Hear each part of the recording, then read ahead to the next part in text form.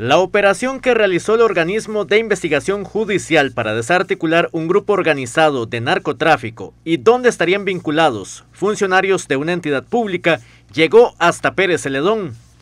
Según el OIJ, en nuestro cantón se realizó un allanamiento de los 37 que se hizo a nivel nacional.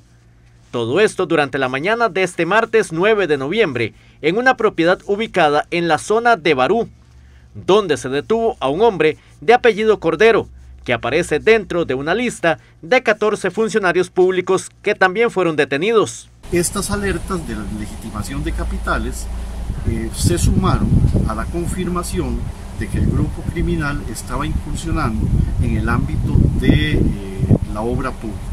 Tenían dos empresas constructoras que eran quienes asumían esta actividad y eso les permitió acercarse a una serie de funcionarios de eh, acueductos y alcantarillados que tenían injerencia y podían determinar temas relacionados con este, la adjudicación de licitaciones, con el planeamiento de obras, con la confección de carteles y esencialmente con la concesión de algunas actividades de contratación administrativa la organización criminal apercibida de esta circunstancia inicia una serie de relaciones con los funcionarios de allá que les permite adjudicarse cuando menos 17 contrataciones directas. Los detenidos están presuntamente relacionados con delitos como narcotráfico, legitimación de capitales, enriquecimiento ilícito y corrupción.